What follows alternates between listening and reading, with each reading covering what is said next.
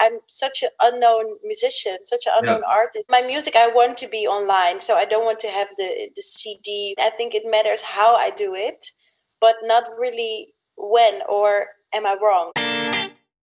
The sooner you get your stuff out there, uh, the better. Yeah. The more accessible it is, the better. Yeah. On two levels, for your own creativity, if you have the music in your heart and you want to say something with it, you need to share that with the world and find ways to do that that are comfortable for you and that are in line with the things that you want to say and with your creativity but also for from like the business side to make it as easy for people to access it and to see it. On the more platforms you are, on the, the more posts you make, the more people you get in touch with, the better. And it's like everybody started from zero. The longer you wait and the longer you maybe let your doubts or insecurity keep that back from the world, it's just going to take more time.